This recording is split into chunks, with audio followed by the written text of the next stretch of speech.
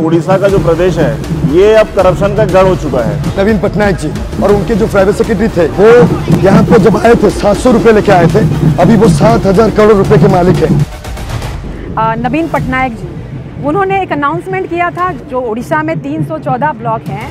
उस ब्लॉक में वो 30 परसेंट जल का संजोग देंगे। अभी भी हमारे ब्लॉक में देखिए अभी तक कोई भी जल का व्यवस्था नहीं है।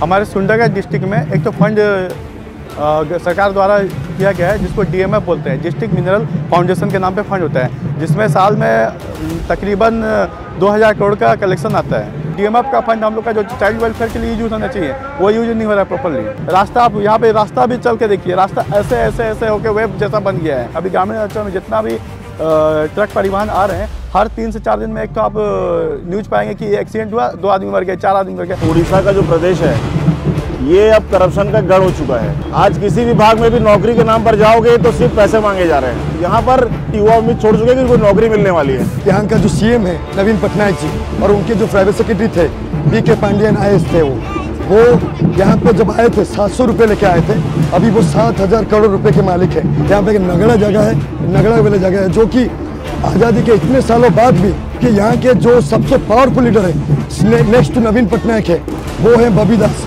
उनका एरिया है और उनके एरिया में बच्चों को पुष्टिकर खाद्य खाना नहीं मिलता है। वो ऐसे बन गए हैं। आपको उनको देखोगे तो आपको रोना आ जाएगा। आपको पता होगा, कुछ दिन का पहले हम लोग का उड़ीसा में सबसे बड़ा स्काम हुआ था चिटफंड स्काम वहाँ पे करोड़ करोड़ रुपया ये जो आदिवासी और दलित आदमी है, जो गरीब आदमी है, वो लोग का पैसा को लेके पूंजीपति लोग यहाँ से भाग गया। और उसका साथ यहाँ का जो बीजू जनता दल है बीजेडी है, उसका साथ में था। जो गरीब आदमी का चिटफंड का जो पैसा है, उसको लुटाने का जो बात किया था और वादा किया था कि गरीब आदमी का जो चिटफंड का पैसा हम रिटर्न दे देंगे, आज तक एक भी रुपया कोई भी आदमी को मिला नहीं।